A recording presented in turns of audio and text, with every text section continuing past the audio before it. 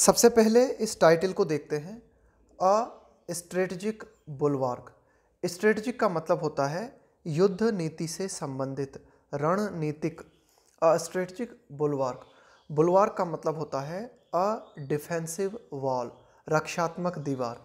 तो यहाँ पर इस टाइटल के माध्यम से कहा गया है कि भारत के लिए जो मध्य एशियाई क्षेत्र है, यह एक स्ट्रेटजिक रक्षात्मक दीवार है। रणनीति से संबंधित एक महत्वपूर्ण दीवार है ये क्षेत्र।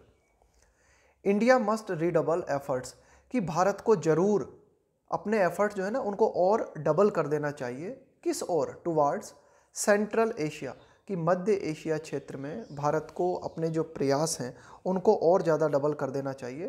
टू काउंटर प्रतिरोध करने के लिए द ग्रेट गेम राइवलरीज देखो राइवलरी का मतलब होता है प्रतिद्वंद्विता। दो पक्षों के बीच में जो टक्कर होती है ना, उसको बोलते हैं राइवलरी तो मध्य एशियाई क्षेत्र में जो ग्रेट गेम राइवलरीज जो ग्रेट गेम प्रतिद्वंद्विता हमें देखने को मिल रही है, देखो, यहाँ पर ग्रेट गेम राइवलरीज से मतलब है कि जो मध्य एशियाई क्षेत्र है इस क्षेत्र में कई देश अपना प्रभाव बढ़ाने में लगे हुए हैं ना तो एक तकरार हमें देखने को मिलती है। जैसे चाइना भी अपना प्रभाव बढ़ाने में लगा हुआ है, रशिया, अमेरिका भी जो है इस क्षेत्र में अपनी पकड़ बनाने में लगा हुआ है। तो कुल मिला के ये जो प्रतिद्वंद्विता इस क्षेत्र में बनी हुई है इसका प्रतिरोध अगर भारत को करना है तो भारत को अपने प्रयासों को इस क्षेत्र में और ज़्यादा बढ़ा देना चाहिए। The third India central Asia dialogue. देखो ये एक तीसरा, भारत के बीच में और मध्य एशिया के बीच में एक मीटिंग हुई, एक डायलॉग आए कन्वीन कन्वीन का मतलब है जैसे किसी मीटिंग को बुलाया जाता है ना तो बुलाना। Convene by external affairs minister S Jaishankar on Sunday रविवार को भारत के जो विदेश मंत्री हैं, मिस्टर एस जयशंकर इनके द्वारा एक मीटिंग बुलाई गई और ये मीटिंग भारत और मध्य एशिया के जो देश हैं, इनके बीच में हुई। तो ये मीटिंग जो है is one in a series of timely connections to the region by New Delhi this year तो ये जो मीटिंग है, यह एक श्रृंखला का हिस्सा है।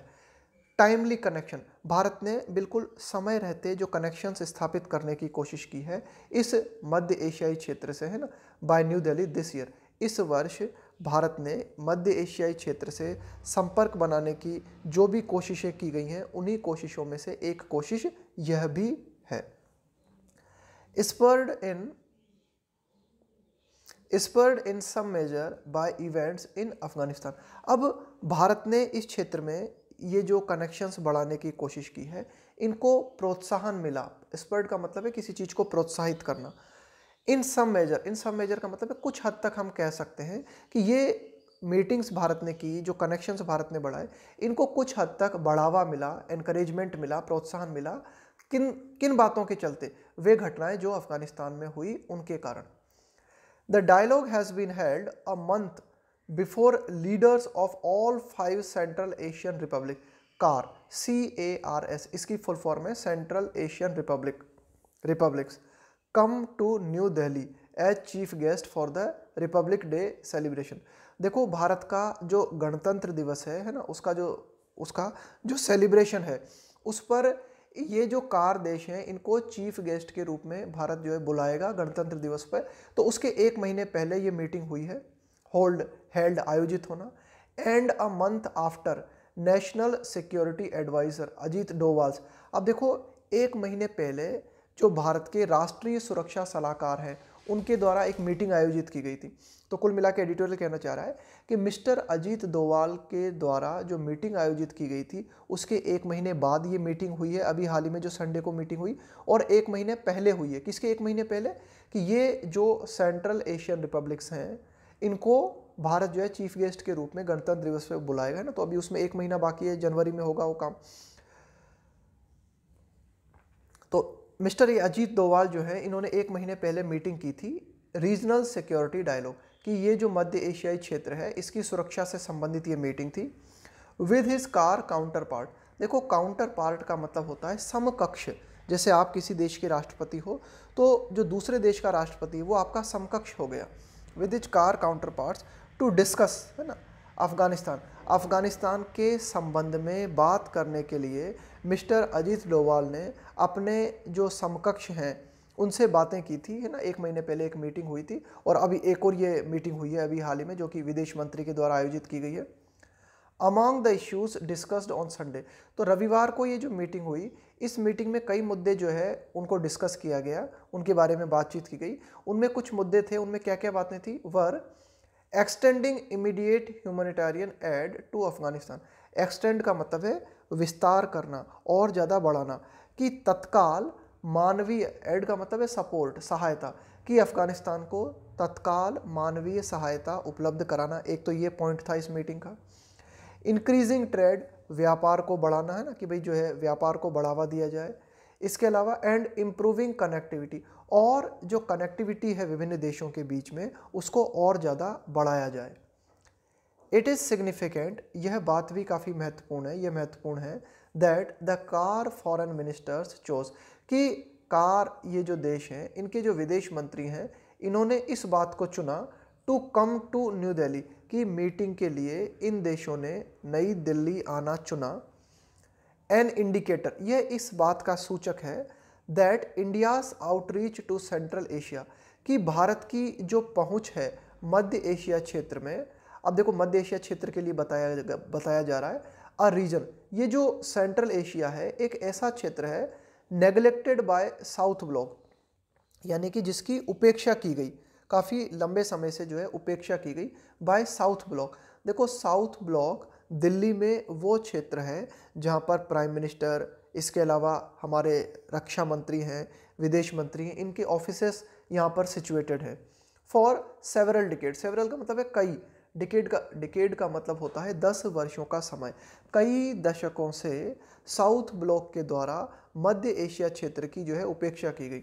लेकिन अब क्या हो रहा है कि भाई ये जो कार के जो फॉरेन मिनिस्टर्स हैं, इन्होंने नई दिल्ली आना चुना तो इस बात से पता चलता है, ये इस बात का सूचक है कि भारत की जो पहुँच है सेंट्रल एशिया में, इज़ बींग रेसिप्रोकेटेड। उस पहुँच का प्रतिफल हमें मिल रहा है। देखो, रेसिप्रोकेट का मतलब होता है आपने मेरे लिए कुछ किया तो मैं आपके लिए कुछ करूँ। तो इसको रेसिप्रोकेट करना कहते हैं ना, आदान प्रदान, विनिमय, इसको हम बोलते हैं रेसिप्रोकेट करना, है ना? यानी कि भारत जो पहल मध्य एशिया के संबंध में कर रहा है, उन पहल का जवाब भारत को मिल रहा है ना। वे पहल जो है, उनको रेसिप्रोकेट किया जा रहा है। आगे देखते हैं कि द जॉइंट स्टेटमेंट एक संयुक्त बयान जो है जारी किया गया, एक संयुक्त स्टेटमेंट जारी किया गया that they share a broad regional consensus on Afghanistan देखो कॉन्सेंसस का मतलब होता है सहमति एग्रीमेंट तो ये जो मीटिंग हुई, इस मीटिंग में आप कह सकते हो, एक संयुक्त स्टेटमेंट जारी किया गया। उसमें कहा गया कि अफ़गानिस्तान को लेकर ये एक, आप कह सकते हो, अफ़गानिस्तान को लेकर एक व्यापक क्षेत्रीय सहमति देखी गई। तो यह द, ये जो जॉइंट स्टेटमेंट है इज़ एप्ट ये बिल्कुल सूटेबल है, ये बिल्कुल अप्रोप्रिएट है, ये बिल्कुल उपयुक्त है। गिवन दैट इस बात को ध्यान में रखते हुए, इस बात को देखते हुए लाइक like इंडिया भारत की तरह all the central Asian neighbours of Afghanistan कि all the central Asian neighbours of Afghanistan कि भाई भारत की तरह अन्य जो एशियाई मुल्क हैं, जो कि अफ़गानिस्तान के पड़ोसी हैं वरी अबाउट वे इस बात के बारे में चिंतित हैं द थ्रेट ऑफ़ टेररिज्म भाई देखो, एक तरीके से अफ़गानिस्तान का खतरा थ्रेट का मतलब हो गया खतरा। द थ्रेट ऑफ़ टेररिज्म आतंकवाद का खतरा रेडिकलाइजेशन कट्टरता नारकोटिक्स नारकोटिक्स में आती हैं नशीली दवाएँ, नशीले पदार्थ एंड ड्रग्स ये सब नारकोटिक्स में आते हैं एंड रेफ्यूजीज शरणार्थी। तो ये कुछ खतरे खड़े हुए हैं मध्य एशियाई क्षेत्र में तो भारत भी उनके लिए चिंतित है, और अफ़गानिस्तान के अन्य जो पड़ोसी देश हैं, वे भी आतंकवाद रेडिकलाइजेशन नारकोटिक्स और शरणार्थियों को लेकर चिंतित हैं। हाउएवर हालाँकि अनलाइक इंडिया अनलाइक इंडिया यानी कि भारत की तरह नहीं। Most of the CARs maintain bilateral talks with the Taliban regime regime का मतलब होता है शासन, व्यवस्था। यानी कि भारत तो ऐसा नहीं करता, लेकिन अन्य जो कार के जो देश हैं, उन्होंने बनाया हुआ है क्या? द्विपक्षीय बातचीत इन्होंने तालिबान जो व्यवस्था है, तालिबान से द्विपक्षीय संबंध कार देशों ने बनाए हुए हैं। हालाँकि भारत ने ऐसा नहीं किया है। Uzbekistan and Turkmenistan have reopened missions there कि भाई उज्बेकिस्तान और तुर्कमेनिस्तान जो हैं, इन्होंने अपने जो भी प्रोजेक्ट्स हैं, इनके जो भी प्लान हैं, उनको अफ़गानिस्तान में पुनः खोल दिया है।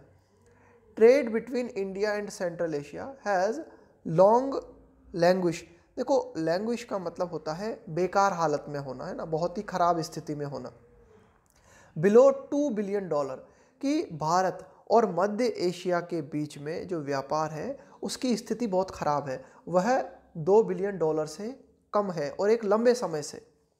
With all sides keen to grow this हालाँकि जो सारे की सारे पक्ष हैं, यानी कि भारत और मध्य एशिया के जो देश हैं, सभी पक्ष जो हैं, उत्सुक हैं कि इस व्यापार को और बढ़ाया जाए। इन एडिशन और अतिरिक्त रूप से अगर हम बात करें India's one dollar billion line of credit for projects in central Asia कि भारत ने मध्य एशियाई जो क्षेत्र है, उस क्षेत्र में कई प्रोजेक्ट्स के लिए वन बिलियन डॉलर जो है निर्धारित किए हैं। एंड कनेक्टिविटी इनिशिएटिव्स, भारत क्या करना चाहता है कि कई काम मध्य एशियाई क्षेत्र में करना चाहता है। कई जो है पहल, इनिशिएटिव का मतलब है पहल, सच एज चाबहार पोर्ट कि भारत ने चाबहार पोर्ट जो निर्मित किया है, इसको भारत और ज़्यादा विकसित करना चाहता है। इसके अलावा, the international north south transport corridor. Bharat चाहता है कि एक अंतर्राष्ट्रीय नॉर्थ साउथ ट्रांसपोर्ट है ना, एक नॉर्थ साउथ ट्रांसपोर्ट गलियारा बने। And the Turkmenistan, Afghanistan, Pakistan, India gas pipeline. इस were all part of the dialogue है ना कि ये जो पूरी की पूरी मीटिंग हुई, इस मीटिंग में ये सारे के सारे मुद्दे जो है डिस्कस किए गए कि भाई भारत ने कहा कि ये जो चाबहार पोर्ट है, इसको और बढ़ाया जाए, नॉर्थ साउथ जो गलियारा है, इस पर काम किया जाए। इसके अलावा गैस पाइपलाइन निर्मित करने की बात भारत ने कही कि भाई इसको जो है बनाया जाए ताकि तुर्क, तुर्कमेनिस्तान, अफ़गानिस्तान, पाकिस्तान और इंडिया को गैस पाइपलाइन के माध्यम से जो है जोड़ा जा सके, कनेक्टिविटी को और ज़्यादा बढ़ाया जा सके। वाइल, जबकि the strengthening of India central Asia ties मजबूती देना, किस चीज़ को? भारत और मध्य एशिया के जो संबंध हैं, है ना, उनको मजबूती देना। And a revival of their traditional. इसके अलावा भारत के मध्य एशियाई देशों के साथ में अन्य जो संबंध हैं, उनको पुनर्जीवित करना। रिवाइवल का मतलब है पुनर्जीवित करना। कि भारत के मध्य एशियाई देशों के साथ में जो पारंपरिक संबंध हैं, ऐतिहासिक संबंध हैं, सांस्कृतिक संबंध हैं इनको पुनर्जीवित करने की बहुत ज़्यादा ज़रूरत है। आर मच नीडेड का मतलब है, इसकी बहुत ज़्यादा ज़रूरत है। इट इज़ ऑल्सो इम्पोर्टेंट यह बात भी काफ़ी महत्वपूर्ण है टू रिकोगनाइज कि इस बात को पहचाना जाए the geopolitical cross currents है ना? जियो पोलिटिकल का मतलब होता है भू राजनैतिक। और क्रॉस करंट का मतलब होता है एक ऐसी एक ऐसी सिचुएशन जहाँ पर कई पक्षों के बीच में हमें कॉन्फ्लिक्ट देखने को मिलता है, तकरार देखने को मिलती है। तो geopolitical cross currents that complicate complicate का मतलब होता है किसी चीज़ को और ज़्यादा जटिल बना देना। कॉम्प्लिकेट सच एफर्ट्स तो भारत तो प्रयास कर रहा है कि भारत चाहता है कि भाई मध्य एशियाई क्षेत्र में भारत के संबंध अच्छे हों, लेकिन कई तरह की ऐसी भू राजनीतिक बातें हैं जो कि भारत की इस पहल को और ज़्यादा जटिल बना देती हैं। जैसे कि while Russia continues to wield influence wield influence का मतलब होता है प्रभाव डालना, प्रभाव लेके आना इन द कार गवर्नमेंट्स कि भाई ये जो विभिन्न कार गवर्नमेंट्स हैं, है ना, विभिन्न जो कार देश हैं, इन पर भारत अपना प्रभाव और ज़्यादा बढ़ाने में लगा हुआ है। इसके अलावा इन पर रशिया भाई रशिया क्या कर रहा है? इस क्षेत्र में ये जो कार सरकारें हैं, है ना, इस इन सरकारों के ऊपर रशिया अपना प्रभाव बढ़ाने में लगा हुआ है। यहाँ पर एडिटोरियल बताना चाहता है कि भारत के लिए समस्याएँ क्या क्या है। China's belt and road initiative. China ने क्या किया है? एक, आप कह सकते हो कि एक रोड, एक बहुत ही बड़ी रोड निर्मित करने का फैसला किया है व्यापार को बढ़ावा देने के लिए। And hundred billion dollar trade by some estimate. Estimate का मतलब है आंकलन। Have made it a central figure in the region. तो देखो, चाइना ने बेल्ट एंड रोड इनिशिएटिव अपनाई है मध्य एशियाई क्षेत्र में। इसके अलावा जो चाइना का व्यापार है, लगभग 100 बिलियन डॉलर का। तो इसके चलते चाइना जो है, इस मध्य एशियाई क्षेत्र में एक प्रमुख फिगर बन के उभरा है। The U S has also been seeking a foothold foothold का मतलब होता है पकड़, है ना, अपना पैर जमाना। तो अमेरिका जो है सीख का मतलब होता है चाहना। तो अमेरिका भी इस बात को चाह रहा है। किस बात को चाह रहा है अमेरिका? अमेरिका भी इस क्षेत्र में अपने पैर जमाने की कोशिश कर रहा है। स्पेशली आफ्टर खास करके आफ्टर अफ़गानिस्तान, कि भाई ये जो अफ़गानिस्तान, अमेरिका ने अफ़गानिस्तान से अपनी सेनाओं को हटा लिया, इसके बाद से अमेरिका भी इस मध्य एशियाई क्षेत्र में अपनी पकड़ जमाने की कोशिश कर रहा है। मीन इसी बीच हम क्या देखते हैं कि India's land connectivity to Central Asia is hamper देखो हैम्पर का मतलब होता है रुकावट डालना, बाधा पहुंचाना। बाय पाकिस्तान, कि भारत की जो लैंड कनेक्टिविटी है सेंट्रल एशिया से, कि मध्य एशियाई क्षेत्र से भारत रोड के माध्यम से जुड़ सके, उसमें रुकावट डाली जा रही है पाकिस्तान के द्वारा। भाई पाकिस्तान भारत को अपनी ज़मीन का प्रयोग करने की अनुमति नहीं देता। तो Pakistan which is building strong links and transit trade agreements with each of the CARs अब देखो पाकिस्तान के लिए कहा गया है कि क्या? कि पाकिस्तान विच इज़ बिल्डिंग जो कि निर्मित कर रहा है, क्या? स्ट्रॉन्ग लिंक कि भाई पाकिस्तान भी अपने संबंधों को मज़बूत करने की कोशिश कर रहा है, मध्य एशियाई देशों के साथ में। And transit trade agreement transit का मतलब होता है आपका, आपके जो भी सामान है, उनको ट्रांसपोर्ट करना। Trade agreements with each of the CAR कि प्रत्येक कार देश के साथ पाकिस्तान भी अपने व्यापारिक संबंधों को मज़बूत करने में लगा हुआ है। और पाकिस्तान ने एक तरीके से रुकावट डाली है भारत की लैंड कनेक्टिविटी जो सेंट्रल एशिया के साथ है उसमें। द अल्टरनेटिव रूट तो भारत पाकिस्तान होकर तो जा नहीं सकता सेंट्रल एशिया के देशों से कनेक्ट, अगर उसे होना है तो। तो फिर अन्य जो विकल्प वैकल्पिक मार्ग भारत के पास है वो क्या है? वाया। इस माध्यम से वाया, ईरान चाबाहार, कि भाई ये जो ईरान का चाबाहार पोर्ट है, इसके माध्यम से भारत अपनी कनेक्टिविटी स्थापित करता है सेंट्रल एशिया के साथ। हैज़ रिसीव्ड ए सेटबैक लेकिन ये जो चाबहार पोर्ट है, यहाँ भी भारत को जो है झटका लगा है। आफ्टर सेटबैक का मतलब है एक तरीके का झटका लगना। After the Taliban takeover of Kabul कि तालिबान के काबुल को टेक ओवर कर लेने के बाद में। टेक ओवर करने का मतलब होता है किसी चीज़ को अपने कंट्रोल में ले लेना। तालिबान के काबुल को कंट्रोल में कर लेने के बाद ये जो चाबहार पोर्ट पे भारत की पकड़ है, उसको भी एक झटका लगा है।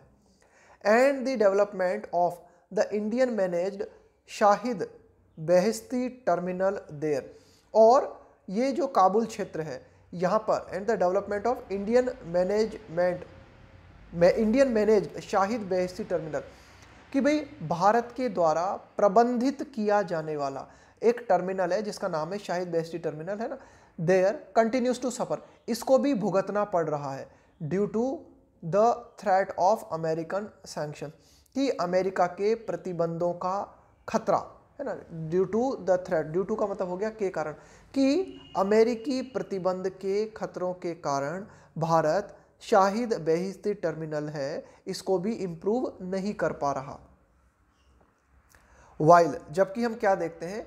India has strengthen ties with other parts of India other parts of Asia कि जबकि हम ये देखते हैं कि भारत जो है, इसने मज़बूत किए हैं अपने संबंध with other parts of Asia कि एशिया के अन्य जो क्षेत्र हैं, उन क्षेत्रों के साथ भारत ने अपने संबंधों को मज़बूत किया है, लेकिन इट ये आया है इट भारत के लिए।